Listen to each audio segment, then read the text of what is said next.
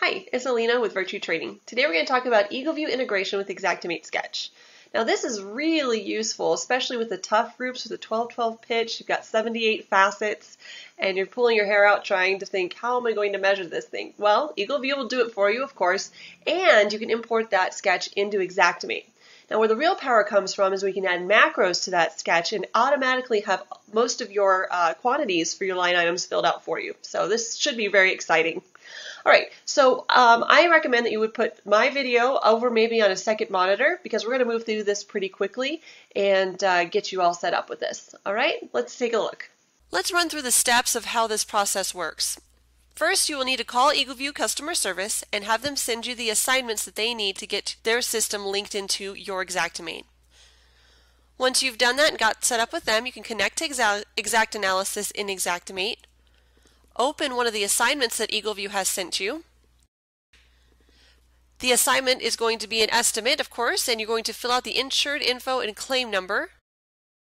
Then you're going to request the roof measurements from the tools section of the estimate. EagleView will then email you a confirmation that they have uh, received your order for the report.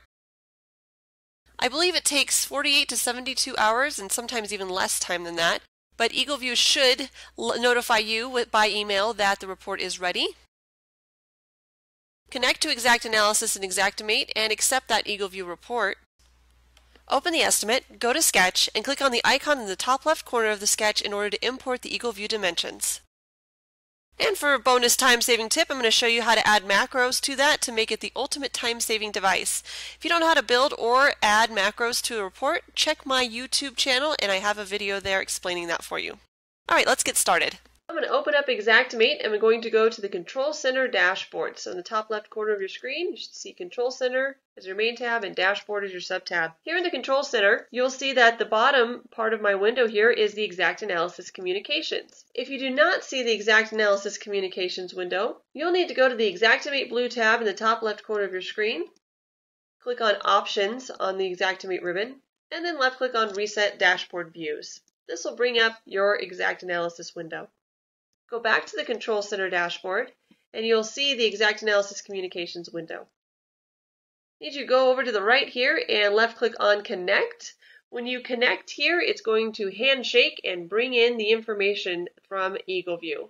Now that that download process has completed, I'm going to left click on Done. I'm going to navigate down here to the inbox. Make sure your inbox is selected.